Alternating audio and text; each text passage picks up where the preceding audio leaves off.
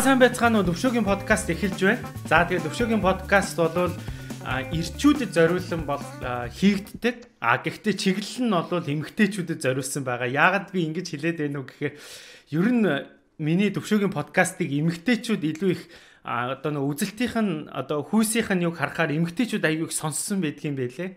А тэгээд бодохдоо би бол бол эмгтээчүүд маань ирчүүдийг яг юу боддгоо, ирчүүдийг ойлгохын тулд энэ ирчүүдэд зориулсан подкастыг төлхөө эмгтээчүүд маань бас сонсоод идэгэн болоо да гэж тэм дүгнэлтэнд хүрсэн байгаа. Тэгээд энэч маань энэ маань бас зөв юм болов гэж би бодсон. А тэгэхээр ирчүүдэд зориулсан эмгчээ эмгтээчүүдэд чиглэгдсэн подкаст болж сүлдө бол хувирсан байгаа. А тэгээд өнөөдөр бол өөрийнхөө подкастнда за бас өөрийнхөө хүндэлж явдаг буян дэлгэр ахыгаа бас оруулахыг хүссэн байгаа. Тэгээд битээр бас уулзалт цаг нэлээд тохирохгүй байж байж байгаад өнөөдөр нэг сайхан хувьслын тохиронд бүрдээд одоо сайхан уулзж байна. Тэгээ би бас буян дэлгэр ахыхаа зөндөө номнуудыг уншсан. Таны номноос одоо аягүй их зүйлийг ойлгож авсан гэдгээ хэлээд өөрийнхөө подкастыг эхлүүлмээр байна. Танд маш их баярлалаа гэдэг зүйлийг бас хувьяасаа хэлээд одоо эхлүүлэе гэж бодож байна. За баярлалаа. За тэгээд таны сүүлийн үеийн сонин сайхан ер нь юу болж байна? Та одоо яг ямар ажил дээр явна вэ те? Энэ ажлаа нэг товчхон танилцуулахгүй юу? За би ер нь бол миний гол ажил бол би ном бичдэг. Ном бичдэг, ном эрхлэн хийдэг. Аа хоёр дахь нь болохоор сургалт хийдэг. Сургалт үлээн сургалтын байгууллагын захиалгаар хийдэг байгаа. А гурав дахь нь болохоор зөвлөгөө өгдөг байна. Ийм гурван хийж байгаа. Тий, тэгээ бас хажуугаар бас үйл хөдлөлийн нэг бас юм хийдэг. Үйл хөдлөлийн. Тэгээд ингээд ингээд ер нь 3 4 5 6 ч юм хийж байгаа дөө. Тэгээ ийм хөл үзэлтэй байдаг юм хүнтэй ер нь бол өөрийгөө аявуух юм хөгжүүлэх гэж байнга л өнгөж өөрийгөө хөгжүүлж өөрийгөө сайжруулах гэж л явдаг. Хэрвээ та нууц биш бол одоо яг уншигч бидэнд За тэр дундаа яг таны номыг сонгон уншдаг одоо яг юм үнэн ч одоо уншигч зориулж одоо яг ямар номон дээр ажиллаж байгаа вэ? Эсвэл тэр сэдвийч гэдэг юм уу? Тиймэрхүү юмыг хэлж болох уу? За ер нь бол би одоо нэг одоо бичиж байгаа ном маань болохоор өөрөөрөө амьдрах гэдэг. За яг нэр нь бол биш. Гэтэ ер нь утга санаа. Өөртөө өөрийгөө хайрл, өөрийгөө хүндлэх. Энэ ном дээр ингээд би одоо сууж байна. Бараг 2 жил явж байна. Ер нь бол хэцүү юм байна. Яг энэ чиглийн номнууд гадуур их байдгүй юм байна. Тэгээ ерөнхийдөө амжилт хийж бүтээх талын номнууд их байдаг ч гэсэн ерөнхийдөө ингээд өөрийгөө сонсно, өөрийгөө ойлгоно гэдэг чинь өөр аюул асар том ертөнц юм байна. Тэгээ энийг энийг ойлгоно гэдэг чинь өөрөө энийг бичнэ гэдэг хэцүү юм. Тэгээ би байна яг ямар ч гэсэн одоо баг 90 өвдөө явж байгаа. Оо за за. Тэгээд яг ингээ хүн өөрийгөө сонсож өөрийгөө дэмжиж өөрийгөө хайрлах гэдэг маань ерөөхдөө өнгөд бүх амьдралын үндэс нь ер нь бол тэгээ энэ талаар ингээ бичиж байгаа юм. Тэгээд одоо чинь өнөөдөр бид хоёрын нэвтрүүлэг гэхэд л одоо эрэгтэй хүн эр хүн гэдэг чинь өөрөө хувь бас нэг хувь чанар шүү дээ. Тэгээд эр хүн өөрийгөө сонсно эрэгтэй хүн өөрөөрөө байна гэдэг бас юм. Тэгээд тэгээд тэгээд ий чинь өөрөөрөө байна гэдэг чинь өөрөөрөө байх өөрийгөө сонгох гэх чинь мөнгөн дээр яаж илэрхий, харилцаан дээр яаж илэрхий, эмгэгтэй хүн дээр яаж илэрхий гэдэг ингээл задаг. Гэтэ тэр болгоныг бас ингээд бүх ер нь бол бүх юм бичих шаардлагатай болчиход байна. Гэтэ би ингээд хүснэгт гаргаж байгаа за ерөнхийдөө ийм ийм хувь хүний талаар энэ энийг илүү тодорхойлж гаргаж өгье гэдэг ингээд өөр өөр ингээд зорилго тавиад бичээд явж байгаа. Тийм. Тэгээд Миний хувьд л ингээд би чи одоо ингээд миний дөрөв дэх ном л та. Тэгээ бас нэлээд л хит миний хувьд хамгийн хэцүү юм шиг. Бичиж байгаа номнуудын номоос хамгийн бичих хэцүү юм шиг санагдаж байгаа. Таны номнууд бол ер нь бол дийлэх нь болгон хувь хүний хөгжлийн тал руу чиглэгдсэн номнууд байдаг. Тэгэхээр нэг номыг гаргаад дахиад нэг номыг гаргаад ингэхээр хувь хүн та өөрөө ер нь хэрэг хөгжсөн байдаг вэ те. Тэр өөрчлөлт өөрчлөгдсөн талаасаа нэг хүмүүс нэг жоохон сонирхуулаад мэдээж бол өөрчлөгдөж байгаа шүү дээ тий. За тэгье. За зарим нөгөө хүмүүс миний номыг мэдхгүй хүмүүс байгаа шүү дээ.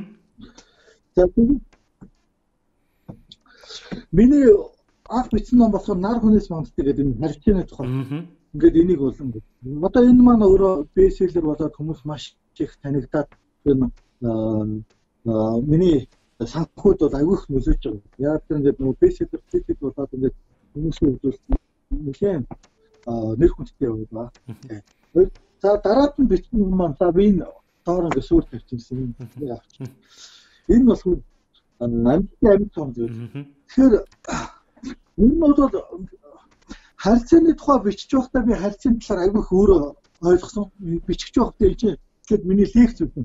Тэгээ лекц задруулаад бичиж байгаа шүү дээ. Ном болгоод бичиж байгаа. Тэгэхээр лекц гэдэг нь өөрөө ярины хэлэн дээр үүсэх юм. Тэгээд ном болно гэдэг чинь бичгийн хэл рүү шилжүүлнэ гэдэг. Энд чинь зарим талаараа ингээд зарим хүн хэлж таны номыг уншаад яг лекц шиг юм байна гэдэг. Яг тэгвэл ярианы хэлээр ингээд бичигдсэн байх. А тэгээ энэ харилцааны ном маань өөрөө намайг ингээд хүний талаар талаар маш их ойлголтыг өгч байгаа. Өөрөөр хэлбэл би энийг бүгдийг мэддэг очиод бичиж байгаа юм биш үү? Өөрөө энийг судлаад явж байгаа бичдэг явцтай айгүй их олон зүйлийг сонсох. Тэгээд ном маань өөрөө намайг сургадаг Чи нэгээд харилцааны номыг бүгдийг би одоо харилцааны тал дээр ямар ч асуудалгүй очиод би ном бичиж байгаа юм биш байхгүй. Ерөнхийдөө харилцааны талаар аявих мэдээлэл аваад түүнийг ингээд боловсруулад явж байхдаа би өөрөө харилцааны талаар аявих зүйлийг мэдж явж байгаа. Хүн хүнтэй харилцах. Тэгээд эн чинь мэдрэмж а би би энтэй одоо харилцааны долгион дамжуулаад ерөнхийдөө нөгөө ойлголцол, хүндлэл, хайр, итгэлцэлгээ бүх юм ингээд маш нарийн байдаг юм байна гэдэг. За дараа нь ингээд амжилтын амьд цомд гэдэг юм юм. Энэ болохоор ерөнхийдөө нөгөө хүн өөргөө яаж дайчлах вэ? Яаж хөгжүүлэх вэ? мөнгөтэй яаж хайрлах вэ? Яаж сахилга бата яаж барих вэ те? Ингээд энэ талаар өч. Чи нэг уншсан баг тийм үү? Аа.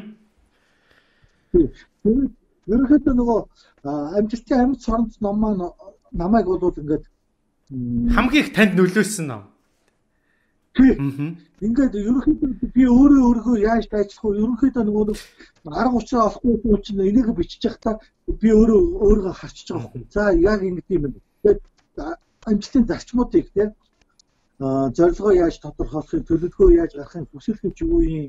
Тэгээд цагаа яаж барих юм? Тийм сахилга бат ингээд ингээд бүх юмнууд ингээд бидээс би сурт. Тэгээд энэ маань эргээд миний амьдралд аюух нөлөөсөн. Ялангуяа би санхүү юмыг яаж нэгээс нөгөө рүү яаж шилжүүлэхийг санхүүгээ яаж босгохын тэр мөнгөтэй яаж харилцах юм. Тэгээд миний санхуд маш их нөлөөсөн ном л да. Хэрвээ би энэ номыг бичээгүй байсан бол хэдийгээр би лекц уншаад ном гаргадаг байсан ч гэсэн мөнгөтэй харилцах учраа магадгүй олохгүй байсан. Тэгээд энэ дэр чинь хүнтэй харилцах бизнестэй яаж анхаарах вэ гэвэл ингээд ерөнхийдөө сэтгэлгээгээ яаж өөрчлөх үү гэдэгээс суйлсан. Яаж сэтгэх үү, яаж зөв юм их шүү хүү. Тэгээ эндээс энэний дараа би ингээд хүнтэй ажил ярихдаа, хүнтэй наймаа ярихдаа юугаа ажиллаа хийхдээ ерөөхдөө зарчмын дагуу хийгээд хэлж байгаа байхгүй. Өөр энэ ном маань надад ингээд нөлөөдөд ирсэн. Тэгээд тэр зарчим эргээд намайг олон муу юмнаас хамгаалж эхэлж байгаа. Тэгээ ерөөхдөө нөгөө хуур хуурдах эсвэл мөнгө хэрэггүй юм зориулах те зарцуулах Гэт яаж мөнгө өсөх үү гэдэг дээр бол их их нөлөөсөн номоо гэж хэлсэн. За энэ миний гуравдах ном амьдрал нөргөл биш бэлтгээд энэ ном маань болохоор аз жаргалын тухай ном байгаа. Тэгээ аз жаргалын тухай энэ аз жаргал гэж юу юм? Хүн жаргал жаргалыг яаж боддгийг те яаж мэдэрдгийг тэгээд юмтай л очих юм бол байртай очих юм машинтай очих юм бол тэгэл бүх юм болоо юм уу гэх те хүмүүс ч ингээд бодох штеп. Тэр энэ ад жаргалын талаар бол айгүй олон талаас нь харж бичсэн ном байгаа. Тэгээд энэ номыг бичиж байхдаа би өөрөөсөө би ер нь жаргалтай юм уу гэх тэгээ ийм байгаа. Ер нь бол энэ номыг би хамгийн сүүлд бичсэн. Тэгээд хүн жаргалтай байна гэдэг чинь энэ амьдралын хамгийн чухал зүйл юм гэдэг. Тэгээ би жишээ нь амжилтын тухай бод бичиж байхдаа би амжилтын нэг өгдөг гэсэн. Тэгэл за энийг энэ номыг бичсний дараа амжилт бол эхний зүйл биш юм байна дараагийнх нь юм байна. Эхний эхэнд бол юу хүн жигдэх гэсэн юм байна. Ингээл ингээд намайг өөрчилсөн. Тэгээд чи өөрөө намайг хэлж байгаа. Одоо би ингээд өөрийгөө носох, өөрийгөө амьдрах гэдэг ингээд ном бичиж байгаа. Энэ маань эргээд миний амьдралд бас бас нөлөөлж. Өөрөөр. Харин тийм надад таны сүлд бичсэн тэр ном их нөлөөсөн л доо бас нэг амьдралыг үзэх үзэл бас шал өөр болж хувирсан л да. Тэгээ би бас нэг ийм юмыг олж харсан. Тэгээ энэ тантай бас санал нэгдэх болов Монголд байгаа улсууд таны номыг уншаад ойлгож авах ойлгоц. гадаадд амьдраад гадны хөгжлийг үзээд гадны соёлтой уусаа тий гадны соёлын шоконд орчоод тэр шоктойгоо эвлэрээ тэр соёл шингэцэн усууд дахиад эргээд таны номыг унших ойлгоц хоёр бас нэг арай өөр үдэг юм шиг байлээ. Би одоо Монголд байгаа найзтайгаа таны бичсэн номыг ингээд өөрийнхөө ойлгосон өнцгөө ингээд ярихаар Монголд байгаа найз маань ч бас энд ирж Европын амьдралыг мэдэхгүй байгаа шүү дээ. Тэрний ярьж байгаа ойлгосон тал эдгээр арай өөр үлээ шүү. Тэг бас нөлөөлдөг юм байл энэ орчин тий. Тий. Би наадах ч юм төлөвлөж юм бодож үзээгүй. Тийм бэл. Гэхдээ гадаад байгаа хүмүүс миний номыг аюул хэлж авдгийг. Аа. Хоёрдугаар нөгөө энэ сүүл бичсэн нэг амьдрал оргил биш бэлт номыг биш тэгээ их сонирхолтой ингээд аа над руу ингээд хүмүүс ингээд таны номыг уншлаа гэж залгадаг байхгүй миний ном дээр миний өчсөний дугаар байгаа. Тэгээд ингээ ийм ойлголт ерөөхдөө ингээд амжилтын тухай ингээд залуучууд аягүй яриад ингээд тэгээд сүүлд амьдрал оргил биш номыг бичснээс хойш маш олон 50-аас дээш насны хүмүүсээ. Бүр 60-аас дээш насны хүмүүс над руу залгаад минийхөө чи золоод хүн байх ч үгүй зургийг чинь харлаа. Ерөнхийдөө залуу юм шиг ямар актер бичдэг юм? Яас их амьдрал хүн хар бичиж ингээд ингээд ерөнхийдөө ингээд бичээ. Тэгээд залуучууд залган гэхдээ цөөхөн ингээд ингээд одоо энэ амьдрал оргил биш номыг уншсан хүмүүс ерөнхийдөө сүүлд нэг одоо нэг цагаан сарын дараа нэг 80 гарцын үгэн над руу залгаж 80 гарна гэдэг чинь манай ааваас 30 дооны үгэн баггүй 30 дооны над руу залгаад би их л олон ном уншсан, ийм ном уншаагүй. Чи их л юу байсан бэ? Намайг тэгээд ингэсэн. Би чи бодвол надаас дүү байх. Гэхдээ би таныг та гэж хэлье. Тэгээ та бол ингээд оюун санааны хувьд тэгээд тэр надад аяг хурам авчирсан. Оюун санааны хувьд бол та их өндөрт байгаа юм байна гэдэг. Тэгээд би тэрийг ингээд юу чад. Тэр үгнийг залгасны дараа нэг хэсэг бодлоо. Тэгээ тэрний өмнө болохоор бас нэг 75 та 60 эдтэй хүмүүс ингээд залгсан байхгүй юу? Ер нь ингээд ингээд нэг 30 40 залглаа гэхэд нэг бараг 30-аад нь бодлоо яг тийм дандаа 50 тийш насны хүмүүс залгаад үлдэн гэж баяр хүргэж ирсэн. Тэгээ би бодохдоо энэ энэ бол ингээд хүн амьдралынхаа төгсгөл рүү яг энэ ад жаргалыг их боддог. Тэгээ тэрийг нь би илүү гаргаа бичдэг юм болов гэж бодсон. Тэгээ би өөрөө ч гэсэн ингээд ад жаргалын талаар бол өмнө айгүйх тийм жоохон ахар бодолтой байсан. Тэгээд хүний хүн жаргал ер нь бол амьдрал чи өөрөө тэр чигээр ингээд утга учиртай амьдрал чи өөрөө тэгээд хайрлан гэдгийг сүүлд ингээд бичиж явах талбай сурсан шүү дээ. Ойлгосон шүү дээ. Яа заримдаа би ингээд өөрөө бичсэн юмнуудыг ингэж харж байгаа ер нь ийм санаа яагаад яаж надад гарсан бол гэж бодогдохор үе байдаг. Байдаг. Тэгээд бүх юмыг ингээд би тэр дорн зохиож бичихгүй шүү дээ. Зарим нь би уншина, ажиглана, энэ тэндээс ингээд юмнаас тий сурсан мэдсэн юмнаас ингээд ажиглаж байгаа тэрнээс ингээд задлж гангаж ирнэ тий. Тэгэл ер нь миний амьдралын туулж явсан туршлага ажигласан юмнаас гарч ирж байгаа хгүй. Тэгэхээр Тэгтээ заримдаа яалтчгүй гинт нэгэд перхийгээ санаа орж ирэл бичих юм байх байна. Энэ бол надад ингээд би өөрөө энд аяг дуртай. Яг ингээд шин санаа орж ирээд түүнийг ингээд уулгаж явах тэр мөчүүл өнөхөр гайхамшигтай торонгоч. Тэгээд би тэрийг бодоод одоо хүнтэй ингээд харьцуулж одоо зүгээр л одоо хүнд хүнд тайлбарлаж чадахгүй нэг тийм гоё мэдрэмж байдаг шүү дээ тэр бол аягүй сайхан юм. Тийм байд. За тэгэхээр таны бас миний одоо асуух гэж байгаа асуулт бас таны бас сүүл бичиж байгаа номтоос холбогдож магадгүй гэж би бодож байна. Яг гэхээр бас таны нөө сүүл бичиж байгаа номыг уншаагүй учраас нөгөө таны үндсэн чиглэлээ бол та сая хэлсэн шүү дээ. Нэг иймэрхүү өөрийгөө сонсох, өөрийгөө тэ мэдэж авах, таних мэдэж авах гэдэг. Тэгэхээр нөгөө хувь хүн чинь өөрөө бас миний л бодлоор ингээл юм болгоныг аль болох сурах те шинээр юмыг өөрийгөө ингээд цэнэглэх тийм л юм хэрэгтэй юм бэ гэдгийг би бүр энд ирж байгаад аягуулсаа ойлгож аваад байгаа байхгүй. Тэгээд э, энд би нэг айгуу гоё үг э, олж унссан л та. Тэр нь юу вэ гэхээр ингээд мэдхгүй чадахгүй зүйлээ одоо өөрийнхөө мэдэж чадахгүй зүйлээ мэдэж авсан цагт л хүнд шин юм сурах болцоо нэгддэг юм байна гэдэг үгийг би уншичаад энэ ямар зөв онч хэлээвэ гэх те Тэгэхээр энэ тал дээр та нэг өөрийнхөө бас бодлыг хэлэхгүй юу те? Ер нь бид нар яг шин юм сурж авнаа гэдэг маань, шин юм мэдэж авнаа гэдэг маань ер нь яг юу хэлээд байгаа. Дээрээс нь бид нар ингээд за одоо л би бүгдийг мэдээд авчлаа гэд ингээд чэжээ дэлдээд амьдраад нь зөв ч юм уу буруу ч юм уу тий энэ тал дээр таны бодлыг мэдэж авмаар байна.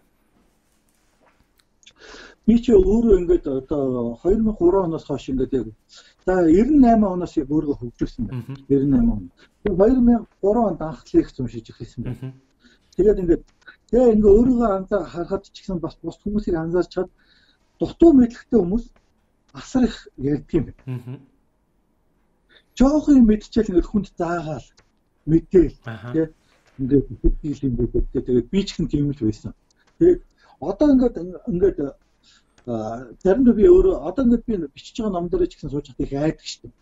Яг түүхээр би чинь нар хүнээс манддаг гэдэг номыг бол өстой үнэхээр зоригтой биччихсэн. Яг тэгвэл намайг хинч мэдхгүй хинч мэдхгүй ингээл оо өстой ингээл бичээдсэн тийм.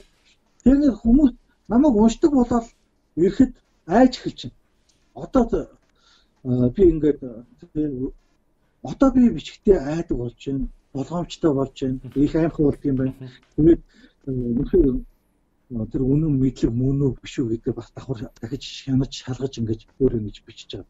Тэгэхээр хүн мэдгүй байх тусам аюух тийм заах ярих зөвлөх тийм юм хүсэлтэй болчихдог.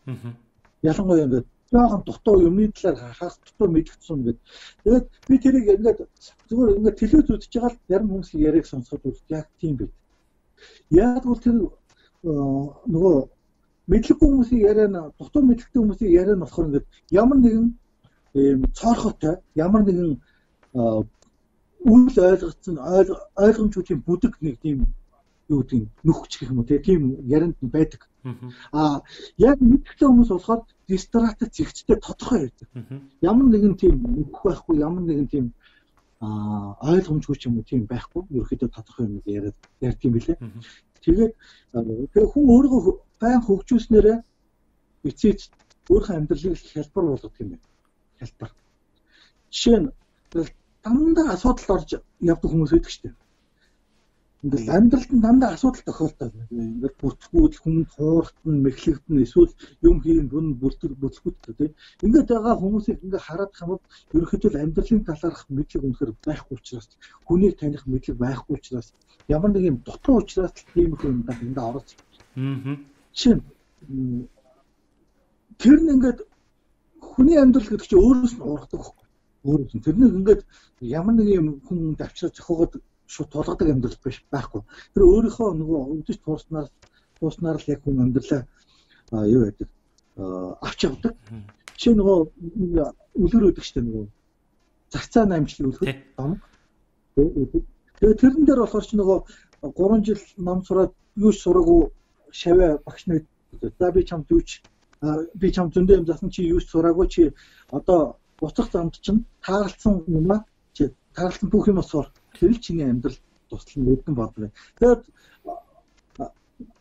хоёр болгон буур буур гал дээр тэгэл ингээл юм чэжлэл явуулсан. Тэгээ жорон жорон буур буур гал ингээл чэжлэл. Тэгээ тэр нь эргээгээд нөгөө өөрх нь амийг нь авдаг ч юм уу. Нэг юм үлгэрүүд. Яг тэр бол яг л амьдрал юм шигсэн. Хүн амьдралдаа юу бүрэн тэр нь яг эргээгээд хүнийхээ амьдралд яг тусалдаг. Тэгээд юу ч сурдгүй хүн бол тэгээл юм дандаа бэрхшээл дундал юм. Тэгээд харилцааны өвдөж сурдаг юм бол тэгэл үргэлж хэрүүл маргаан хууртал хууртагдах, мэхлэгдэх эсвэл атаачтууд ингээд ингээд дунд явчихдаг харц юм. А тэгэл мөнгө санхүүгийн тал дээр юу ч сурдгүй юм бол тэгэл үргэлжил ламбарднаас ламбардны хооронд эсвэл ямар нэгэн байдлаар нэг урт хормогоо авч хойд хормогоо нөхөгч гэдэг ингээд Тэгэл энэ ад жаргалын талаар юу ч мэдгүй, юу ч сурдгүй, хөгжүүлдэггүй юм бол үргэлжил ингээд хөмдөө үргэлжил ингээл шансан ингээл явж байна. Тэгэхээр хүн ингээд өөрийнхөө амьдралыг авч явна гэдэг маань өөрч явна гэдэг маань өөрөө асар их хүнээс мэдлэг асар одоо юу гэдэг яг боловсрол гэхээс илүү амьдралын ухаан гэх үү тий амьдрах ухаан тэр амьдрах мэдлэгийг шаардж байдаг. Чихэн үнэн мэдлэгийг чинь. Тэгэхээр хүмүүс ингээд сурч байгаа юм уу ингээд заримдаа ингээд хүмүүсийн сонирхож байгаа юмыг харахад хитэж хэрэг болохгүй юм дээр айгүй хөтлөгч анхаарал тавьдаг. Жишээ нь ингээд зарим хүмүүс ингээд рекламыг айгүй хүчиг телевизээр явж байгаа рекламд айгүйх ач холбогдол өгвөл тэр айгүйх хэрэгтэй аль нь айгүйх хүнийг тураадаг юм энэ хямдартан байж гэдэг юм тийм. Тэгээд эсвэл ингээд нөгөө сериал кинонууд одоо нөгөө солонгосын олон сериал кинонууд баг нэг анги үзээгүй бол тэр харамсаал тийм. Тэгээд өөрт нь өөр нь амьдрал харамс зөндөө их байхт чинь шал өг тэнийг юм харамсаал тэнийг юм цагаад дөрөвөл явж байгаа. Тэгэхээр хүн жинхэнэ үнэн мэдлэгийг хагаад жинхэнэ ингээд бодит байдлыг эрхлэх үед хүн яг амьдралд хэрэгтэй зүйлийг л хайж эхэлдэг. Хайж. Тэгээд тэр нэгийг амьдралд нь асар их ач тусаа өгдөг. Тэгтгэл юм шиг надад санагдав. Тэгээд би өөрөө амьдралыг байгаа би ингээд миний сурсан миний амьдралд дандаа хэрэг байна. За За төвшөөгийн подкастынхаа ер нь эхний хэсэгтээ бол таныг нөгөө хувь хүний хөгжлийн талаарх ном бичдэг учраас бас нэг ирчүүдтэй хувь хүний хөгжилдөө нэг анхааруул ийм үр дүнтэй анхааруул ийм одоо тий үр ашигтай гэдэг талаас нь хоёлоо бас нэлээ ярьлаа тий. Одоо би бас нэг аа нэг ганц зүйлийг бас асуумаар байна. Тэр нь юу вэ гэхээр гадаад амьдарч байгаа залуучуудынхаа өмнөөс одоо яг Монголд амьдарч байгаа танаас бас бүр яг үннийг мэдхийн тулд асуумаар байна А тэр нь юу вэ гэхээр одоо энд байгаа зарим нэг залуучуудтай ингээ уулзаад ярилцаа санал бодлыг ингээ сонсохоор Монголд амьдрал хэцүү гинэ. Монгол руу очихоор ингээд одоо мэдээж тэд чинь онлайнаас эсвэл ар гэрээс ингээд Монголд байгаа нийгмийн амьдралын талаар мэдээллийг л аваад байгаа юм л та. Тэгэхээр ингээд хэцүү байна. Чи тэгээ хизээ буцахгүй Монгол руу хэр би буцахгүй ер нь эндээ ингээд амьдрал энд сайхан биш тэ амьдрал Монголд айгүй хэцүү биш тэ гэл тэгээд идэг. Тэгэхээр та одоо яг тэр нийгэмд нь одоо яг ингээд холилдоод амьдарч байгаа хүний хувьд энэ гадаадад амьдраад байгаа тэр залуучуудад нэг хандаад нэг хэлээч үнэхээр хэцүү байна уу? Хэцүү байгаа бол юу нь хэцүү байна? Тэ? Та нэг боддоор нэг хэлээч. За за би бол яг надхаар чинь бас би бодож исэн. Яг над чиний над яриад байгаа чинь надад ч гэсэн хүмүүс асууж байсан. Тэгээд би ч өөрөө бодож байсан. Үүдээ хажууд хүн болгонд надад чинь одоо ярьдаг багтай солонгот юм байна, Европ юм байна, Америкт юм байна тий. Одоо Монгол одоо яах вэ? Тэгээ би зарим талаараа яг үнэн. Монголд бол амьдрахад хэцүү байгаа нь үнэн. Гэхдээ гэхдээ би энийг бол ингээд бүр Монгол бол тэр чигээрээ баларсан хэцүү гэж би хэлэхгүй. Монгол бол гадаадд амьдрахад юу сайхан бэ гэхээр бүх юм цаанаасаа ямар нэгэн байдлаар бэлэн болцсон байдаг. Бүх одоо тогтолцоо нь ингээд тий хүнд хэрэгтэй тэр нийгмийн тогтолцооны бэлэн байгаа. А Монгол бол тийм биш үү. Монгол бол зарим талаараа одоо дөнгөж хэлж гин гэж бодож байгаа. Зарим тогтолцоонууд одоо тогтолцоонд орж хэлж байна тийм. Тэгээ Монгол бол юм бужигнж байгаа. Тэгэхээр ийм бужигнж байгаа газар бол хэн илүү сэтгэж чадчихээн, хэн илүү овсоотой тэр нь бол амьдарч чад. Тэгээ ер нь бол а зүгээр таамаараа явдаг зүгээр урсгалаараа явдаг хүнд бол Монгол бол хэцүү. Хэцүү. Тэгэхээр би юу гэж хэлэх гээд байна гэхээр а Европт ч юм одоо чиний амьдарч байгаа энэ газарт ер нь ингээд урсгалаараа ажиллаа игээ явж хахад бүх юм болж байгаа бол энэ бол окей болж байна тийм үү. Гэтэл Монголд бол тэгж болохгүй. А Монголд энгийн энгийн одоо дундад төвшөнд амьдрахын тулд наан ч амьдарч байгаа шиг тэгж амьдрах. Наан ч гараж байгаа тэр хүч хөдөлмөрөөр болохгүй. Тэгэхээр бол арай илүү хичих, арай илүү сэтгэх хэрэгтэй. Тэр нийгэм ядуу байх тусам хүн илүү сэтгэхийг бол шаардсан шүү дээ хүмүүс. Илүү хөдөлмөрлөхийг илүү шаарддаг. Тэгэхээр манай нийгэм бол мэдээж Европтой бол харьцуулахад өөр байгаа. Тэгэхээр энд бол илүү их хөдөлмөрийг хөдөлмөрийг илүү их хурдыг илүү их сэтгэхийг шаардж байгаа. Тэгэхээр гэхдээ ингээд за яг ингээд одоо юу гэдэг хөл дээрээ босъё томръё тий хувийн бизнесээ босхыг гэж байгаа хүмүүст бол тэгээд ерөөдөө юу гэдэг эхлэх хөдөл эхлэх тэр нөгөө боломж нь байвал Монголд илүү их хурдтай хурдтай. Европт бизнес хийснээс илүү Монголд илүү хурдтай. Яг тэгэхээр энд бол өрсөлдөө маш их байгаа ч гэсэн зах зээл нь бас маш их байгаа. Миний харж байгаагаар бол зах зээл нь маш их байна. Өрсөлдөөн бол. Тэгэхээр би юу гэж хэлэх гэж байна гэхээр Монгол илүү их ихтгэлтэй хүмүүс, илүү их одоо юу гэдэг өөрийгөө дайжиж чаддаг хүмүүс нь амьдарч байна. Тэгвэл таваараа явдаг хүмүүс бол хэцүү. Тийм. Өөрөө илүү их тавьдаг, илүү хүч гаргаж, илүү бусдаас ухаан гаргах тэмүүлж яваа хүмүүст бол энд төлөх боломж байгаа. Боломж гэдгийг би юу гэж хэлж байгаа гэхээр наач нь илүү их ажилласнаас илүү их энд ингээд ажиллах юм бол илүү их хурдан одоо гэдэг хөл дээр босох янз бүрийн тийм гол нь Монголд бол ингээд нөгөө нэг тогтсон хэв хэв маягаар хөгжих боломжгүй байнга сэтгэж байнга өөрчлөгдөж байдаг ийм нийгэмд бол хүн байнга анхаарал болгоомжтой байж байнга хичээх. Өөрөөр хүнээс маш их хичээл зүтгэхийг шаардна. Гэхдээ бол боломж бүр боломжгүй бол гэж би хэлэхгүй. Тэгэхээр одоо чинь ингээд гадаадд ажиллаж байгаад ажиллаж байгаа мөнх хураагаад тодорхой хэмжээний валют хураагаад тэгээ Монголд ирээд юм хийх гэж байгаа залуучууд ингээд асуудаг байхгүй юу? Зарим талаар хэцүү юм байна гэдэг. Гэхдээ зарим нь бол юу гэдэг вэхээр Монголд бол үнэхээр боломж байгаа юм байна гэж боломж. Зах зээл байгаа юм. Тэгэхээр ер нь бол хүнээс их юм шалтгаална. Их юм шаардна Монгол. Тэгээ тийм гэж ойлгоорой. Тэгэхээр Монгол бол зарим хүмүүс бүр нэг дүүрсэн болохгүй гэж ойлгоцсон ярьдаг тийм гадаад амьдарч байгаа залуучууд байдаг байж магадгүй. Надад бол яг тийм байдаг. Гэтэл Монголд бол яг ингээд хийгээ явхад бол зах зээл нь байгаа шүү. байгаа. Гэхдээ илүү их ухаан шаардна, илүү их мэрэгэн ухаан, илүү их төвчээр, илүү их хөдөлгөөн хурд шаардна. Тийм. Тэрээр илүү давуу талтай.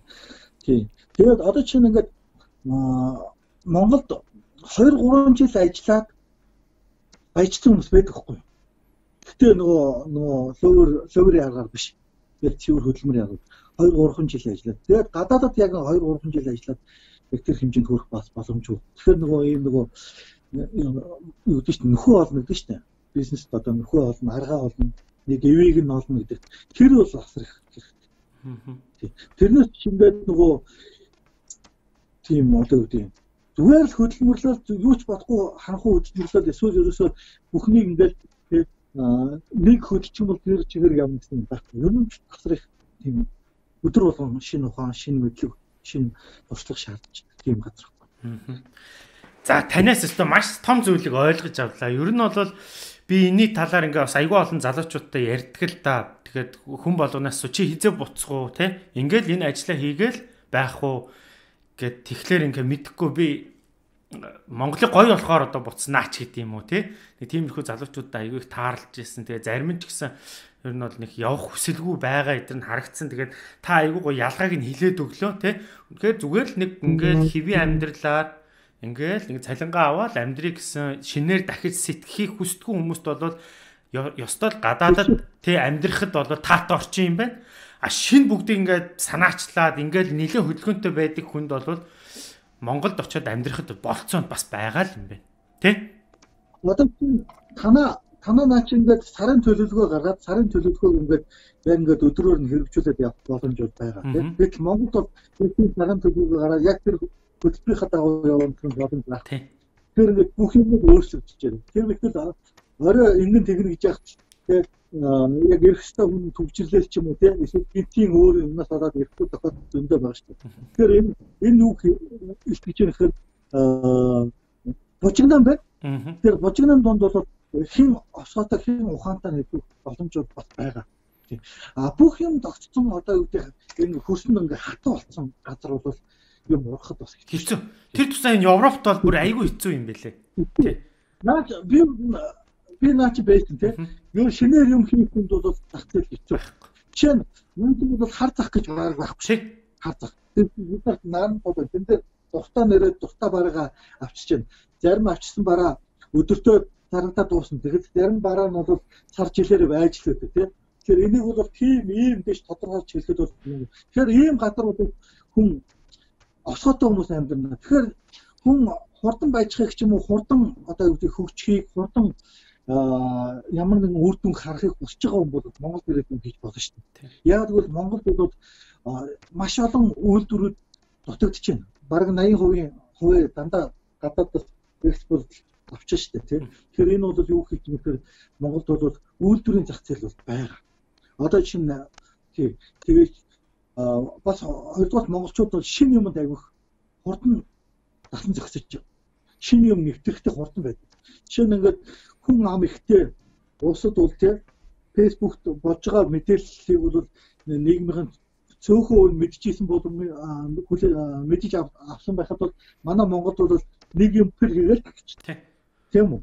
Одоо жишээ чи энэ шүү дээ. Энэ подкаст энэ эн чинь бол ерөөсөө тэр чигээр ингээл чиний хийж байгаа бол Монгол олон зуун мянган хүн ингээд зэсэг гэл хурчиж байгаа юм. Тэгэхээр энэ чинь бол жишээ.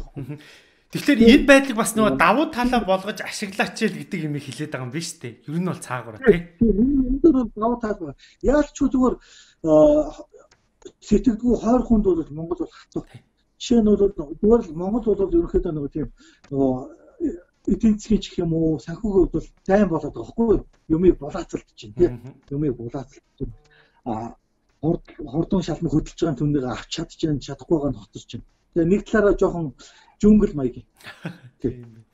Жүнгэл ер нь хин хүчтэй хин хурдан шалман явтаа шүү дээ. Унтаа болох болно. Тэгэхээр жүнгэл хинт аюултай гэхээр ерөнхий хөлөөнгүй сэтгэлгүй тойрог залхуунд бол жүнгэл аюултай. Тийм яг л тийм байна. Тийм. Тэгэхээр сайн талаас нь харуул хурдан юм бол бүхэн хурдан. Тийм. Муу талын харуул юм байгаа. Муу талын харыг гэвэл зөндөө юм байна. А сайн талын хараад тэрийг давуу тал болгохыг бол бас бас зөндөө юм байгаа. Тэ? Жишээ нь миний хувьд бол би гадагшаа би чинь зөвхөн Монголд шүү дээ. Тийм. Би өөртөө яваад ажиллаад амьдрэх надад тийм одоо боломж байсан ч гэсэн би тэгж явах сонирхол надад байхгүй байна. Яг тэгэхээр гараад амьдарч байгаа хүний хувьд бол нэг зүйл байна. Би бол тэнд амьдарч үзсэн тийм яг өөрөөрөө бахаж чаддгүй юм байна. Гадаадд ажиллаад амьдраад мөнгөтэй болсон тэр хүн бол гоё сайхан мэт. Гэтэ тэгээ юу гэж. Надад бол би тэр хүнээс би тэгээ юу гэж Яг бол тэнд ажиллаад юм тийм боломж нь байгаа юм чинь. Тинчил тэгж ажиллаж чадна тэнд бол. Гэтэл энд бол хотлоо үнэ ч гэсэн ингээл энд бочинж байгаа би Монголдо байна. Монголынхаа хөгжил тий одоо энэ хөгжлийн төлөө ингээд Монголдо үр хөвгтүүдэд өсгөх гэдэг бол өөрөө илүү чадвар. Аа тэгээд бахархал надад төрдөг. Аа. Бахархал төрдөг. Тэгэхээр Монголд бизнес хийгээд тэр амжилттай явж байгаа хүмүүсээр би бахархдаг. Бахархдаг. Энэ яагаад тэр хүн юугаа хөрөнгө аваад галахшаа яваагүй шүү дээ. Монголчуудыг төлөвлөж шүү дээ. Энэ хүн нөхцөл энэ хэцүү нөхцөлд босгож чадчих шүү дээ бизнесээ бахарх чинь. Тэгэхээр бидний гадаадд ингээд яаж ч юм тэгээд ягаад ч юм цаанаас нэг тийм надад бол ундуу санагдчих. Би ингээд тэнд ажил хийж үзсэн. Тэ цаанаас нэг юм өөрөөрөө баг энэ хүний нутагт тийм ингээд нэг тийм байдаг юм бэлээ. Яа одоо би буруу ярьж магадгүй шүү энэ бол энэ миний бодол шүү. Тийм тийм тийм. Тэгээ ер нь бол би таны л үзэл бодлыг таны л бодлыг сонсгож л таны зочноор оруулахаас яг ингээд тулгаж байгаа сонсож байгаа хүнийг бол тулгаж байгаа юм бол биш шүү гэдгийг ус ойлгоорой. Тий. За одоо би бас танаас бас нэг чухал зүйлийг асуух гэсэн юм аа. Ер нь яг ирчүүд бид тий тэр дундаа Монгол ирчүүд бид ер нь ер нь яг ямар байх ёстой вэ? Тий амьдрал дээрээч тэр хүнтэй харьцахтаач тэр үр хөвгтөө хүмүүжүүлэхтэйч тэр те залуучууд бид ер нь ноён одоо Монгол ухаач гэдэг юм уу эсвэл нэг ноён нурууч гэдэг юм уу те та энийг нэг манай одоо надад бол энэ залуучуудад нэг сайхан тайлбарлаад за энийгээ ингээл аваа явуул нэг болно доо гэсэн юм. Ягаад би энийг танаас суугаад энэ энийг яг үндэ хаач заагаагүй бидэнд те а бас аав ээж тэгэж бид нар энэ талаар бас нэг чөлөөтэй сайхан ярилцдаггүй юм байна те тэр болцоогч бас аав ээж маань бас олгоогүй юм шиг надад санагддаг. Одоо миний хувьд л гэхэд те. Энийг бид нар ингээд амьдралаа туурж ээж, алдж ээж ингээд мэдэж аваад байгаа байхгүй. Тэгэхээр заавал алдж мэдэж авахгүйгээр бас нэг туулаад мэдээд авсан хүнээс сонсчууд бас нэг арай нэг алхам ойртох юм болоо гэж бодоод байгаа байхгүй. Наач айгу тийм хэцүү асуулт. Айгу том асуулт байна. Монгол ир хүн ямар байх ёстой юм? Монгол ир хүн яаж амьдрах ёстой юм гэдэг чи өөрөө ингээд айгүй том асуулттай ерөөх явахгүй. Аа тэгвэл би зүгээр ингэж боддгийн. Надад бол гадаадд амьдарч исэн гадаад хүнтэй амьдарч исэн амьдардаг ч юм уу тийм эмгтээчүүд юу гэж хэлдэг вэ гэхээр яг ингээд нэг зүйлийг хэлдэг ингээд Монгол эрэгтэй хүний тэр нөгөө эмгтээ хүнд хандж байгаа одоо юу гэдгийг муу залуучууд зөндөө байгаа л да. Гэхдээ ингээд Монгол ингээд сайн залуучуудын талаар ингээд ярихдаа бид нар юу гэж хэлдэг вэ гэхээр ингээд айгүй тийм халуун сэтгэлтэй. Халуун. Халуун гэдэг үгийг айгүй би олон сонсч байсан л та. Халуун гэдэг. Тэгээд халуун гэдгийн нөгөө эсрэг үг нь бол мэдээд хүүтэн бүлээн ч юм уу тийм л байгаа шүү дээ. Тэгэхээр монгол хүний монгол хүнтэйгээ ингээд яриа суухад арай халуун байдаг гэдэг нэг иймэрхүү монгол эр хүнтэй ярихад тий халуун гэдэг үгийг би сонсч байсан байхгүй юу. Тэгээ би энийг бол би сайн мэддэг. Гэхдээ ямар ч тийм үг гэдгийг сонсч байсан. Тэгээд мэдээж монгол эмэгтэй хүн бол Монгол эртгээ Монгол эр хүнтэйгээ суухыг хүсэлгүй байх. Тэгээд амьдрал ирэхээр зарим эмэгтэйчүүд маань ингээл гадаад хүнээс сууж л байдаг тийм. Тэгээд мэдээж соёлын ялгаа энэ нэг юм ялгаа байдаг. Жишээ нь аа зүгээр жоохон томоор ярих юм бол Монгол эр хүн гэдэг маань өөрөө үндэснийхээ дархлааг заавал тээж явчихдаг. Заавал тээж явах ёстой. Хэрэв Монгол эр хүн тийм ойлголт, тийм ухамсар байхгүй бол Монгол улс төр чигээр мөхнө. Тэгэхээр Монгол яг нэг маань өөрөө Монгол соёлын нэг хэсэг. Гэхдээ Монгол соёлыг тээж явж байгаа хамгийн гол зүйл бол нөгөө өөрсдөө торгож байгаа эрчүүдэд эрчүүдэд маань тэр үүрэг байж идэг. Тэгэхээр Монгол улсыг Монгол улсад ингээд юу гэдэг юм бэ? Монголоор ярьдаг хэрнээ зүгээр нэг юм Монгол сэтгэлгүй соёлгүй ч юм уу Монгол сэтгэлгээгүй хүмүүс бий болчихвол яах вэ те тэр энэ чиг хэцүү. Тэгэхээр Монгол үндснийхээ заавал тэр соёлыг уламжлалыг заавал ирэх хүн тээж явах хэрэгтэй. Тээж ийн гэдэг маань бол ерөнхийдөө нэг тийм тэр чинь улс өх орны дархлаа байж. Тэгээ би ингэж боддیں۔ Жишээ нь ингээд сая ингээд цагаан сар боллоо. За ер нь баярууд болохоор л ингээд би заавал энэ ууж тавих хэрэгтэй юм уу? Заавал ингэх хэрэгтэй юм уу? Заавал золох хэрэгтэй юм уу гэдэг ерөнхийдөө одоо ч орчин үе шүү дээ. Орчин үе учраас ингээд орчин үеийнхээ сэтгэлгээгээр байх хэрэгтэй. Тэгэл ингээд ингээд янз бүрийн юм ярьдаг та. Тэгээ би ч хэн залуу байхдаа тэгж боддог байсан. 20 мөртөө байхдаа бол нэг нэг ясташлууч нэг төвхтэй юм шиг одоо чинь хүүгийнхаа хүүхдийнхаа дайхыг үргэхэд л нэг ингээл нэг заавал нэг шинж систем зүгээр өчтөнд аваачаад таагчих болдгоо юм тий. За энийг ингээл ярангуут цаана зөндөө юм. За энэ үсэнд чинь тэр сүл сүл талаас нь ярих хүмүүс байна. Тэ янз янз дал талаас нь ярих. За би за тэрийг болъё. Гэхдээ зүгээр л тэрийг Монголд би ээж аваас өвлөж авсан одоо чинь мах идэхтэй хүртэл мах идэхтэй хүртэл тэ далыг тэ юугаар зулгааж идэггүй ч дээ тий. Утгаар идэггүй тий. Тэгээд ийм юмнууд энэ ийм хүү одоо ингээд толгой мөчгөд хүртэл ингээд ястан шил байдаг үстэй. Энэ нэргээд ингээд тухайн үед бол ингээд за зүгээр махыг махыг махтал ингээд идчих болно л. Гэхдээ эргээгээд эн чинь бол та цаад дад утгаар бид мэдэхгүй. За бойлоо тий. Гэхдээ энийг хийж байгаагаараа би ялгарч байгаагаа одоо мэдэрдэг болчих. Би би Монгол хүн. Би Монгол хүн гэдэг. Монгол хүн босгон дээр хişигдгүүч гэдэг юм тий. Ингээд Монгол хүн хаалга алдтгүй баг нь алдтгүй ч гэдэг юм тийм ингээд янз янзын цаана ямар учир шалтгаантай мэдэхгүй тийм ёс заншлууд эргээгээд намайг монголоор хадгалж идэм байна гэдгийг би ойлгож байна. За энийг би үр хөвгтдөд хэлэхгүй дамжуулахгүй байж болно. Яг бол энэ ямар нэгэн ашиг авч өгдөг. Эргээд бас ямар нэгэн гай хохирол авч өгдөг иймэрхүү заншлууд маань. Гэхдээ энэ заншлуудыг ингээд одоо юу гэдэг юм одоо ашиггүй учраас дахгүй одоо хийхгүй ингээд ингээд орхий гэж бодлоо л. Энэ эргээд яг Монгол үндэстэн бөхж байгааг хэлбэр. Тэгэхээр одоо Монгол ирчүүд ямар нэгэн байдлаар ирчүүдийн нуруунд дээр эх орны одоо гэдгийг эрхчлөө ноён нуруу эх орны тэр тэр эх орно гэсэн хадгалж үлдэх өөргөл их ирчүүдийн нуруунд дээр байх ёстой. Тэгээд зарим залуучууд иймэрхүү юм ярьж л та. Ер нь бол одоо барах дэлхийг галбаачилж байгаа учраас их одоо хэлхийд гар гэж баг байх хэрэггүй. Ер нь тий ингээд бид нар өрн хоорондоо бараг л уусаад дэлхийг маань тэр чигээр нэг уус болох хэрэгтэй. Үгүй байхгүй. Үгүй. Одоо л тийм биш. Бид нар хүн төрөлхтөнд одоогийн ухамсарлал тийм байж чадахгүй. Яг бол ямар нэгэн байдлаар ирэх ашиг хөндөгдөхөд яг үндэстэн үндэснэрээ нэгддэг. Ямар нэгэн байдлаар нэг усын үндэст ирэх ашиг хөндөгдөхөд хичээлөөр хөндөгдөхөд яалтчгүй үндэснэрээ тэр түүнийг хамгаалах. Одоо чинь фэйсбүүк дээр уралдаан болно шүү дээ. Нэг одоо юу гэдэг янз бүрийн уралдаанууд болно. Олон үндэсний хооронд урж байгаа чарганы нохооны уралдаан болгоод Монгол Монголоо дэмжээл явдаг шүү дээ. Энэ бол яг ингээд ингэж явах хэрэгтэй байхгүй.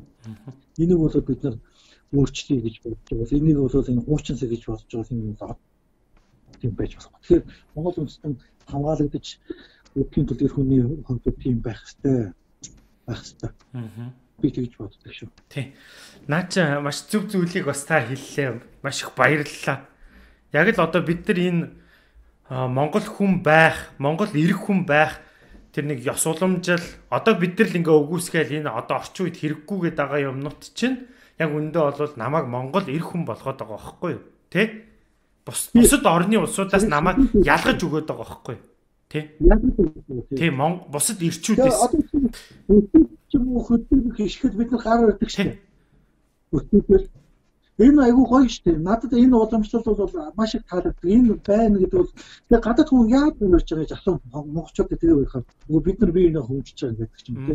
Яг ийм их жижиг цаажиг одоо юу гэдгийг нүүдэл тосч ирээд тай өгдөг ч юм уу. Тэгээд энэ бол одоо сайн талаас их асар их юм өгч байгаа гэдэг.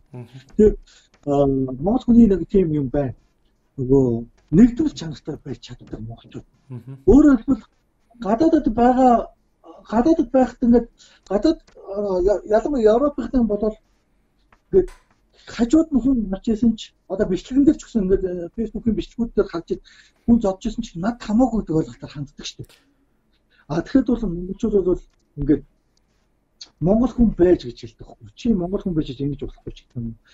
Монголчууд цөөхүүлэхний хэмжээнд гэж ийм нэг үгнүүд байдаг шүү дээ. Энэ над аюу таалагддаг. Энэ үг хаанаас гарсан? Тэ монголчуудын дундаас гарсан. Жишээ нь Ороомын иргэн болохын тулд дээр үт мөнгө өгдөг гэсэн. Аа бус хаялаг улсууд иргэн болохын тулд яг бол Ороомын иргэн байна гэдэгт маш их олон давуу талтай. Жишээ нь өнөөдөр бол хүн болгон Америкийн иргэн болохыг хүсэж байдаг тийм. Ийшин ингээд ингээд ингээд явж байгаа. Яг бол тэр хүчрэх үү. Тэгээд Монгол дээр нөгөө 13 дугаар зуунд бол монголчуудад бас тийм байсан. Монгол хүн гэдэг бол илүү давуу хэрэгтэй маш олон зүйл дээр зүйл дээр давуу ирэхийг эдэлдэг байх юм байлээ. Тэгээд энэ болгон ингээд биднийг нэгтгэж байдаг.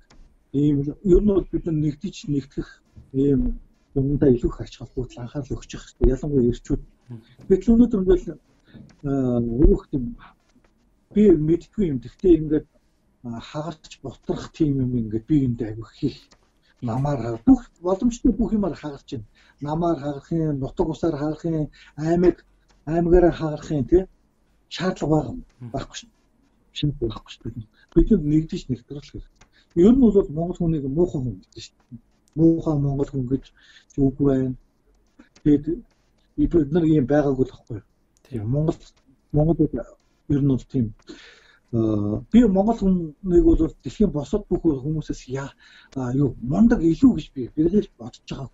Одоо юу гэдэг монголчууд тэнгэр заяат маяат илүү мэлүү гэж би бодож. Гэхдээ нэг зүйл монгол хүн бол өөр. Өөр гэдэг бол энэ илүү гэдгээр биш. Тэгээ өөр. Бид нар өөр шүү. Тэгээ энэ өөр гэдэг юмдаа бид нар ач холбогдол өгөөд өөр гэдэг юм бид нар барьж явах ёстой. Бид нар өөрөө л бол өөр өөрөөр барих хэрэгтэй.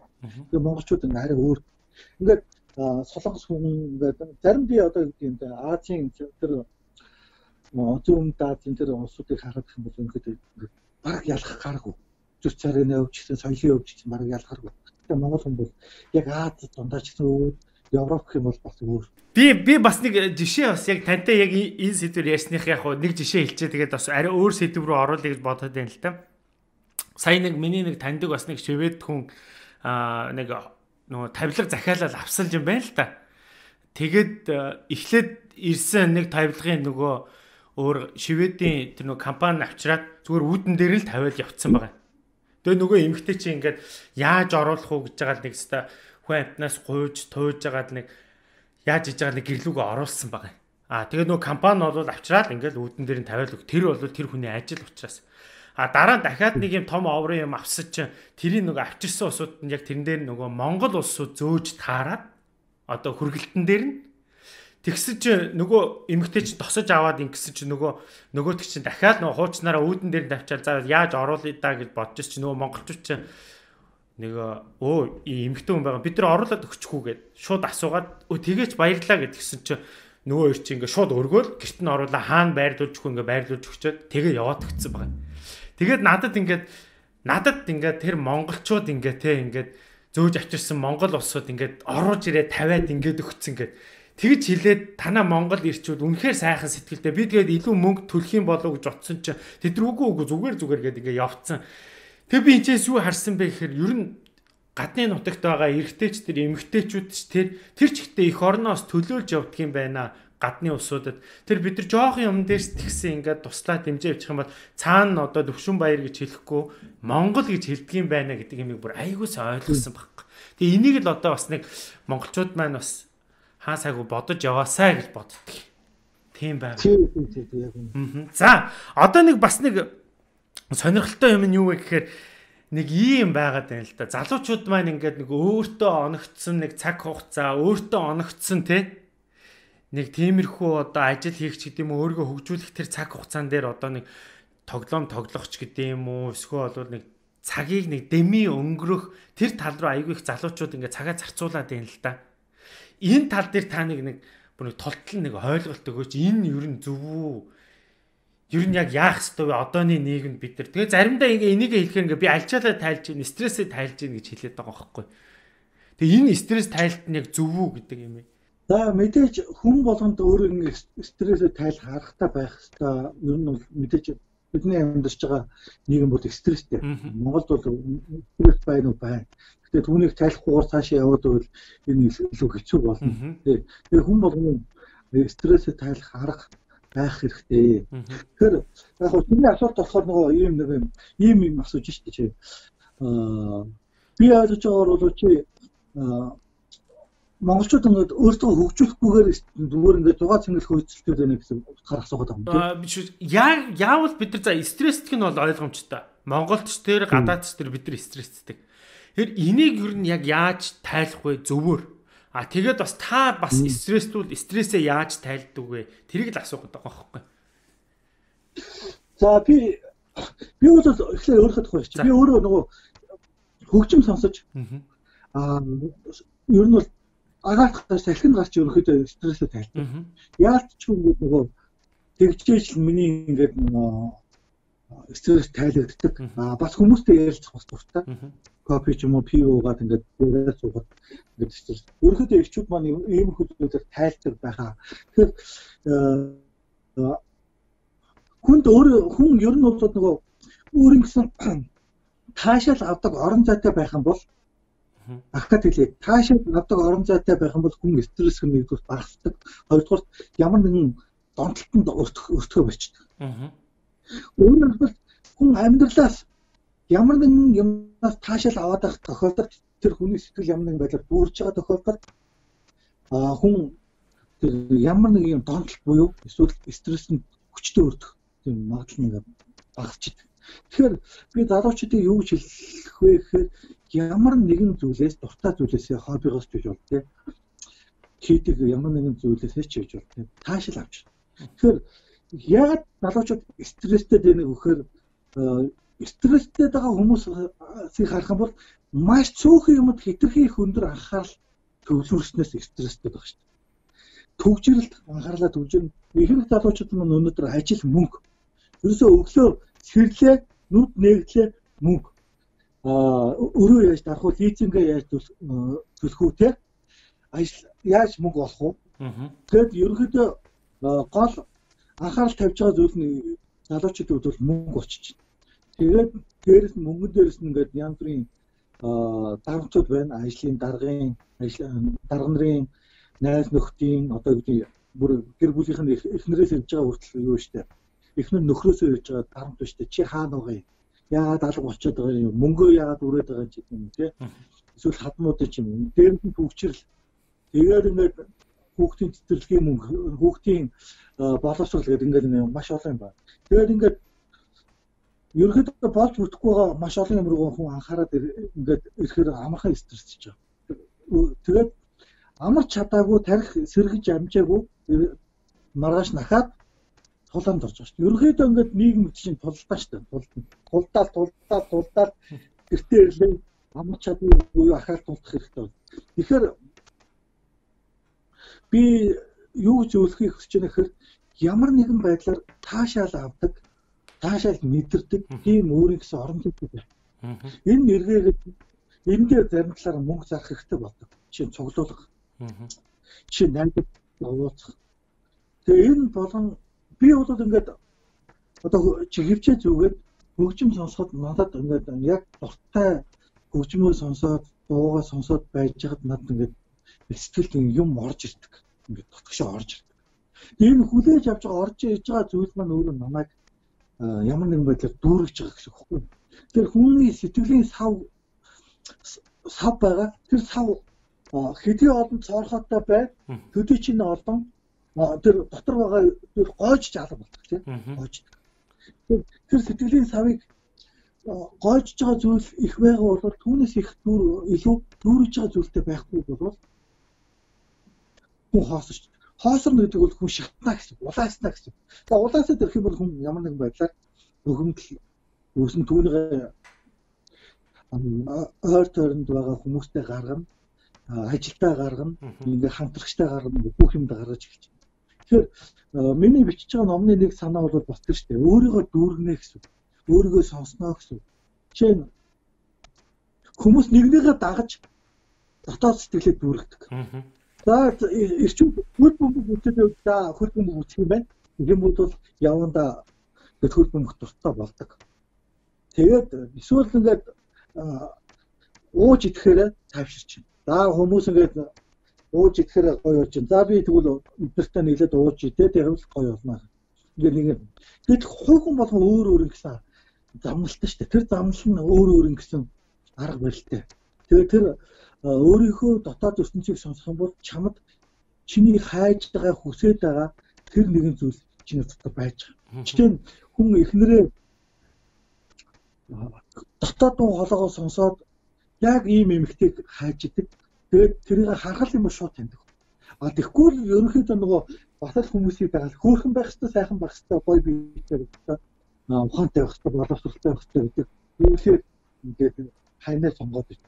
Энэ бол нийтийн жижиг нийтийн жижиг. Тэгэхээр яг ямар зүйл хүсдэг, ямар мэдрэмж надад төрүүлж чаддаг, яг миний ямар хэрэгцээг хангаж чаддаг, сэтгэл зүйн ямар хэрэгцээг хангаж чаддаг тэр хүн надад хэрэгтэй юм бэ гэж эмэгтэй хүн одоо харах юм бол арай өөр зүйл. Тэр хүн магадгүй хандууд байж болно. Тэгэхээр өөр зүйл анхаарал тавьсан учраас өөр зүйлийг хайх. Яг хүс дотоод хүсэж байгаа юм уу эрэгтэй хүн сонсох юм бол тэр хүсэж байгаа юм дотор нь чи чамд таашаал өгөх, чамд ад жаргал мэдрүүлж чадах, чамайг амрааж чадах тэр байгаа шүү дээ. Бага. Тэрийг олмод тэр нь болохоор ингээд тэрийг аль болох нийтийн жижиг даахгүй ба яг өөрөө сонс. Яг юм. Аа зарим нэгчүүд дагсан ч явдаг, зарим бүх үздэг тийм үү? Зарим найзуудтайгаас үүдэх, зарим болохоор нохот хичээдэг, загас хичээдэг тийм үү? Зарим нь хөтөр тоглодог ч гэдэг юм дээр ингээд. Гэхдээ ингээд хүн таашаал авдгүй бол донтолтод өртдөг ямар нэгэн байдал. Донтолт. Тэгээд тэр ямар нэг юм олон хийх тусам төр зуршил бодог тэр зуршил хэрвээ буруу байх юм бол донтолт өгöd.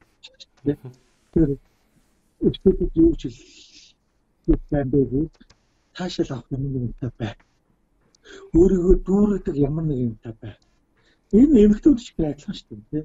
Өөрийгөө дүүргэдэг юмтай байвал аа чи өөрийгөө хоосолдог юм чамд хэр их учирч байна өөрөөр чамд хичнээн их цоорхоонууд байна тий чиний дотор байгаа сэтгэлийг чинь урсгаж гарч байгаа тий хичнээн их юм байна түүнээс илүүгээр орж явах физикийн хуулиар бол тийм биз дээ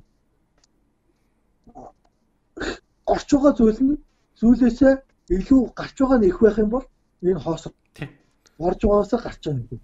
Тэгэхээр мэдээж амьдрал юм чи ямар нэгэн байдлаар гарна. Зарлага. Тэгээ орлогоо илүү байлгаа гэсэн. Тэгэхээр энэ банк дүүрнэ гэсэн. Тэгэхээр энэ бол хүнийг тайван байлгах, сэтгэл дүүрэн байлгах маш гол зүйл шүү. Тэгэхээр сэтгэл дүүрэн амьдрал, сэтгэл хангалуун амьдрал гэдэг яг нэг сэтгэл дүүрдэг гэж яриад байгаа юм. Тэгэхээр энэ чинь бол яг энэ дүүрэх ёстой. Нь би түнд асууя чи юу хийвэл чи сэтгэл дүүрдэг вэ? Юу хийвэл сайхан болдог вэ? Мэдээ чи нэг таван юм нэрлээ. За би өөрийнхөө мэдээж хамгийн түрүүнд бол дуртай юм а хийх. Тэ? Одоо дуртай юм маань гэхээр би чинь за кино үзэх дуртай, ном унших дуртай, тий? Тий. За тэгээд дуртай хоолоо идэх дуртай, салхинд гарах тий. За. Тий, тий. Тэгэхээр чи тэр тэр чамайг дүүрэж байгаа шүү дээ. Тий. Энэ чамайг амрааж байгаа юу? Тэгээд чи одоо ингээд жаахан ч дүүрээд ирэх юм бол жаахан ч зарлах үүсгэх боломжтой. Өөрөөр хэлбэл чамайг одоо за тэгвэл эргээ таван дургу зүйл чамд юу тохиолдож чи одоо хэцүү болдог. За одоо тэгэл эсэргээрээ нөгөө дургу ажиллаа хийх ч юм уу хүчээр те. За тэгэнгүүтээ нөгөө хүнтэй одоо үл ойлголцох ч гэдэг юм уу эсвэл бол ажил бүтэхгүй байх ч гэдэг юм уу те. Аа. За ийм бай тийм үү. Мэдээж. Тэгэхээр энэ хоёрын энэ их үеч чи сэтгэл дүүрч дараа нь энэ гойж юм авчих юм. Тэгэхээр энэ дээр л ингээд анхаарчих. Одоо чинь ингээд залуучууд маань мөнгө мөнгө гээд ажил ажил гэдэг ингээд гэр бүл мэдээж гэр бүлийн төлөө явж байгаа. Яг л хэрэгтэй шаарч байгаа. Тэгэхээр нэг юм өгөөд дээ. Хэрэв чи амрахгүй өвчин чамайг зогсон юм тий. Тэгэхээр залуучууд маань яг хэдий ч нэ мөнгө хэрэгтэй байна. Хэдий ч нэ шаргуу ажиллах хэрэгтэй байна. Төжиг ч нэ өөрийнхөө тэр нөгөө итгэлээ дүүрэх юм анхаарал тавих хэрэгтэй. Анхаарал. Тэгээд тэрийг нь эхнэр нөхөр нь бас ойлгодог байх хэрэгтэй. Хэрвээ тийм анхаарал тавих зүйл байхгүй биш сэтгэлээ дүүрэх зүйл байхгүй болоод ирэх юм бол хүн удаалч эхэлнэ. Удаасаад хоосроод удаасаад эхлэх юм бол тэр ингээд хажуудлынхаа хүмүүс рүү ойр дотноо хүмүүс рүү ямар нэгэн байдлаар аягд нэргэж эхэлдэг. Аянг. Аа цэглаан зохиж эхэлдэг. Өөрөөр хэлбэл маш амархан дүрс дүрс хийж уурладаг. Буруу бус руу хурдан чихэж эхэлдэг. Тэ? Бухимж байгаа учраас. Тэгэхээр бид нар гэдэг чинь өөчүү 50 ухаан гэх тийм. Энэ юу юм бэ? Эцэц өөчөө байна 50 байна өвөөмөр байна гэдэг чинь эцэц юу вэ? Сэтгэл дүүрэн баг сэтгэл дүүрэн байгаа учраас л тийм байж чадна. Өөр аргагүй чи хов болсон байх юм бол хичнээн хичээгээд өөчөө дүү 50 юмд ухаантай ухаа хүлээдтэй байр суурьтай хандж чадахгүй шүү дээ. Энэ дотор хоосч юм. Тэгэхээр хүний сэтгэл хэдий ч нэг хоосон байна. Тэр ерөнхийдөө нөхцөл байдал автагддаг. Нөхцөл байдлаас шалтгаалж шийдвэр гаргадаг. Гэт хүний сэтгэл хэдий ч нэг хоосон байна. Яг л нөгөө хамхуу шиг салхины аясаар шийдвэр гаргадаг. Тийм. Сэтгэл дүүрэн байх юм бол ихгүй шүү. Бодно, хачуулна, дүгнэн. Тийм. Тэгэхээр хүнийг сандаргаад сандаргаж агаад алдаа гаргаад тэгээд үг алдуулах ч юм уу эсвэл ямар нэгэн буруу юм хийх, буруу шийдвэр гаргах гарах гэж хүмүүс албаар тийм хүмүүс биш үү? Аа хүнийг зочоох сандрах үед хүн өөрөө буруу шийдвэр бодлохгүй бодлохгүй амлалт өгөх бодлохгүй шийдвэр гаргадаг. Тийм. Тэгэхээр эрэгтэй хүн эр хүн айл өдөрдөж яваач вэ, албан байгууллага өдөрдөж яваач вэ хизээч уур бухимдал тий. Сэтгэл хөдлөлтөөр чи эсвэл хитрхийг баярлуулах тий. Нөгөө гялпа үсгэн гэдэг чинь тархинд гялпа үсгэн нөгөө машин нөгөө нөгөө өөдөөс гинт хол дээр тавиад нүдрүү гялпа үсгэд ерөөхдөө нэг хэсэг юм харахаа байдаг шүү дээ. Яг тэр шиг тархинд нь гялпа үсгдэг тэгэл тархинд гялпа үсгэх юм бол тэр хүн ямар ч баримжаагүй болдог тэгэл шийдвэр гаргаж байгаа шийдвэр нь ерөөхдөө хууртах мэхлэх эсвэл буруу шийдвэр гаргадаг Тэрэн дээр уурч их адилхан. Хүний тархинд уурын гэлбэ үүсгэж юм харанхуулаад явчихдаг. Харанхуулаад явчих юм бол тэгээд нөгөө аа гар нь хөдлөд хүн зөгчдөг юм. Тухайн үед тэгэл алдаа гаргадаг. Тэгээд энэ ийм учраас тэрнүүдээ нөгөө хүн сэтгэл дүүрэн байх зосом зосом шийдвэр гаргахтаа аюух тайван хүнд ч гэсэн ярихтаа арай л тийм уужуу гаргана шүү. За хүн хүн бол бусдад ч гэсэн муухай харагддаг. Муухай харагддаг. Юм үтээгүй царайлна гэдэг чинь тий. Юм үзэл үзээгүй царайлна, үг даахгүй ч гэдэг юм тий. Тийм хүмүүс хэлээд байдаг шүү. Тийм байдал үүснэ. За тэгээд подкастын маань цаг маань бас дуусах төхөж байна. Тэгээд сүүлийн хоёр асуултыг бас танаас асуугаад дуусгая гэж бодож байна. Тэгээ та бас нэг залуучууд маань бас товчхон хилчээд тэгээд дуусгыг нөө цаг маань одоо төгссөн учраас тэгэхээр сүүлийн хоёр асуултын маань эхний асуулт нь болохоор одоо яг таны ажиглаж байгаагаар Монгол залуучууд маань яг юун дээр алдаад байгаа юм шиг байна. Тэрийг та нэг хэлээч те. Яг төлөх үү? Яг юун дээр алдаад? Эдийн засгийн дээр бодлого гаргах дээр алдаад байна. Яг юун дээр байна?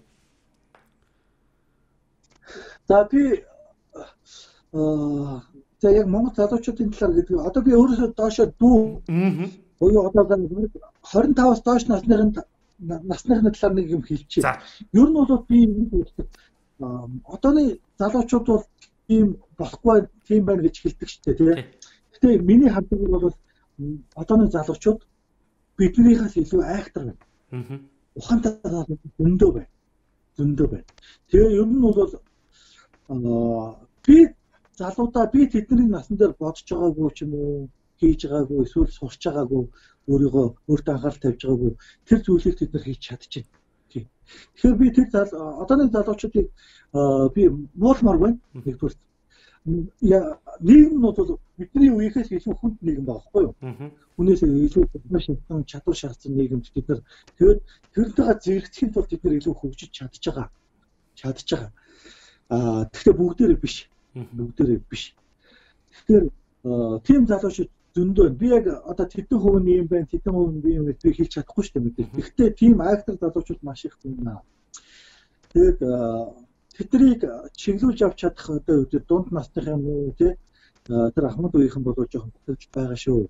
Бид нарт бол төгтөг. Бид нар бол маш их хэрүүлтэй маргаантай эвлэж нэгдэж чадахгүй байгаа. Гэтэл биднийг сонирхдаггүй бидний юу гэдгийг үжиж харж байгаа сонирх сонирхдаггүй бид нар зөвхөн өөрийнхөө урд байгаа тэр өөрийнхөө хүсэж байгаа зүйлийг сонирхож хөгжүүлж өөрөө хөгжүүлж чадж байгаа маш олон залуучууд байгаа шүү. Тэрний интернетээр бид нар зөв аялж чадчихна. Бид нар мөнгө олж чадж байна. Тийм залуучууд зөндөө байгаа. Гэхдээ тэднэрт дэмжлэг хэрэгтэй, тэднэрт уламж хэрэгтэй. Тэгэх юм бол биднээс илүү хийх тийм чадвар биднэрт байгаа. Аа бас мэдээж нэг хэсэг тийм залуучууд байна нөгөө өөрийгөө хөгжүүлэх түрүүний чиний ярьсан те өөрийгөө хөгжүүлэх тийм хэсэг бусах залуучууд байгаа. Тэгээ аль хэсэгт нь өөрөө хамрагдаж байгаагаа мэдж байгаа байхаа. Тэгээ би бол залуучуудын үнэхээр яг өндөө л үнэхээр актер байна. Гэхдээ зарим залуучууд маань юм сурахгүй байна, хөгжихгүй байна. Ирээдүйн ирээдүйд биднээс илүү их юм шаардна. Илүү их тэр нийгэмчсэн тийм юм дотор бид нар амьдрах байх илүү өндөр зардал өртгөхөр амьдрах байхаа. Тийм учраас залуу байгаа дээр ухаантай байгаад хөгжөөсэй гэж бодож байна. Тэгээд нэг зүйл хэлье. Ер нь ингээд амьдралыг хараад их юм бол залуудаа сурсан зүйлээрээ хожим амьдрт юм байна. Тэрнээс биш ингээд залуудаа юу сураагүй тэгээд 30 40 35 гараал 40 гараал ингээд амьдрал цаанаас ингээд юм болгоод өгчдөг тийм биш юм байна. Тэгээд залуудаа юу ч сураагүй өөрийгөө хөгжүүлээгүй тэр хүмүүс яалтчгүй ингээд амьдралын уралдаанд жоохон хараар суулт сууд юм байна. Сууд юм байна. Тэгээ залуудаа ингээд өөрийгөө шахаж хөгжүүлж исэн тэдгээр хүмүүс залуучууд бол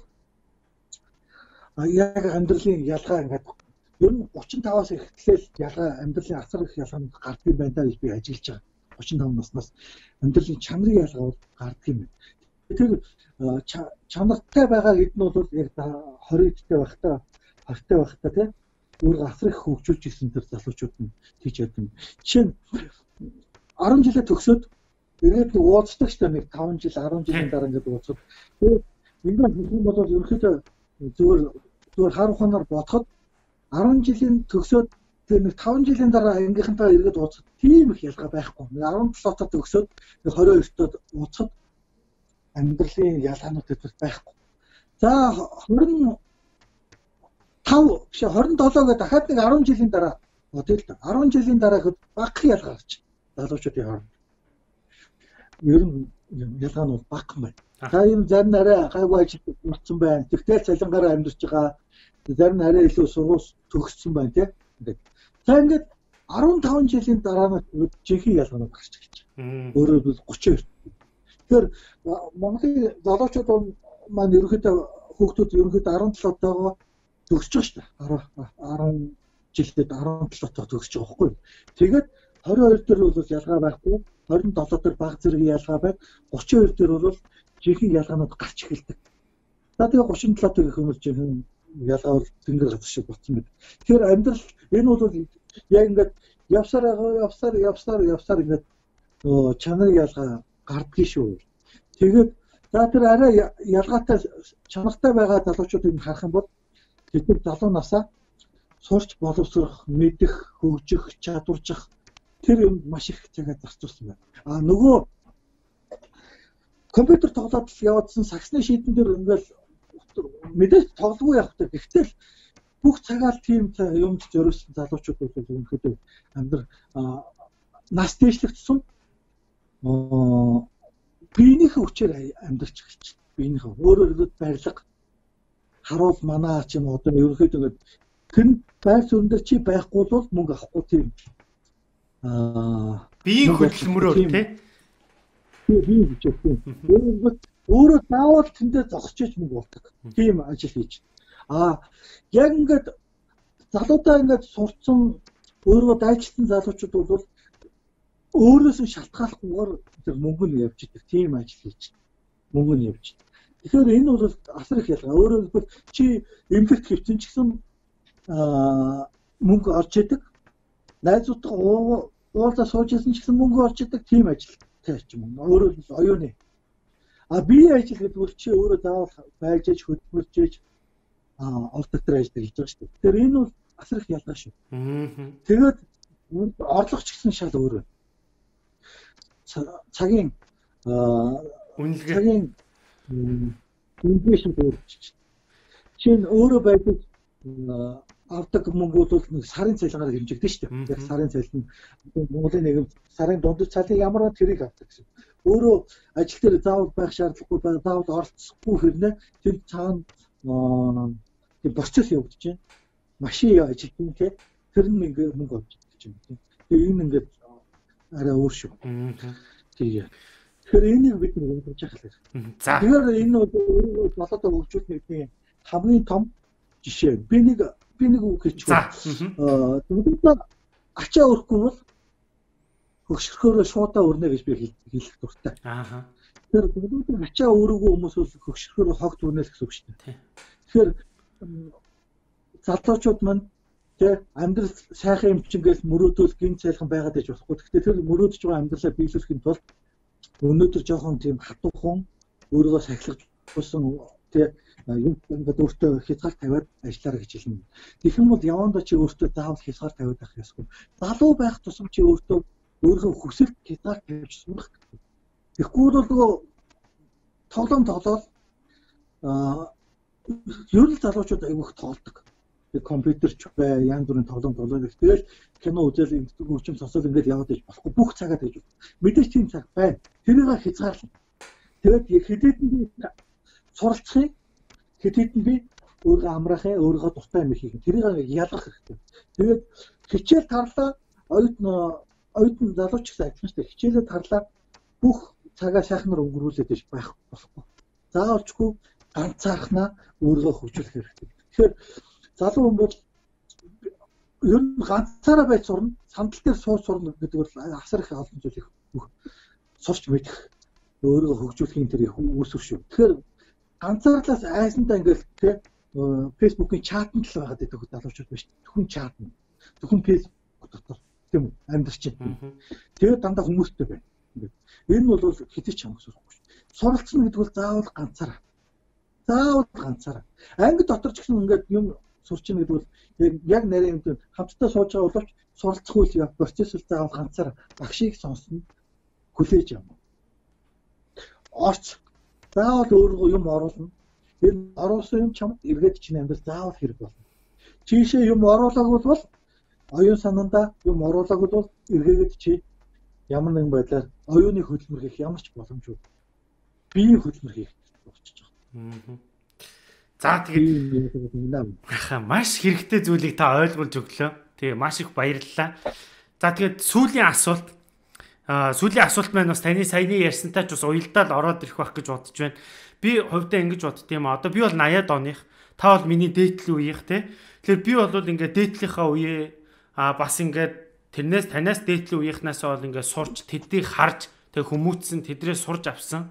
Тэгэхээр ингээд би бол одоо 80-ад оных учраас би доошоо 90-ад оныхон 2000-ад оныхонд би өөрийнхөө юу үзэж сурсан, амьдралаас юу олж авсан гэдгийг бол хүссэн үсээгүй би тэд нар зааж өгч хэлж өгөх үүрэгтэй юм шиг надад бодогдоод идэг байхгүй тий. Тэгэхээр энэ энэ үүргийг бол та бол өөрийнхөө номоорооч тэр өөрийнхөө хийж байгаа ажиллаараач тэр бас ингээд 80-ад оныхон 90-ад оныхон 2000-ад оныхон залуучуудад ингээд бас хийгээ яваад байгаа юм болов энэ ажлаа бити зогсоогоороо бид нар бол танаас таны номноос маш их зүйлийг сурж авч байгаа шүү гэдгийг бол өөрийнхөө хувьяас хэлмээр байна. А дээрэс нь би бас танаас та хинээс үлгэр дүүрэл авч хинээс сурдаг байсан бэ? Юунаас сурдаг байсан бэ гэдгийг бас танаас асуумаар санагдаад байна л та. Аа.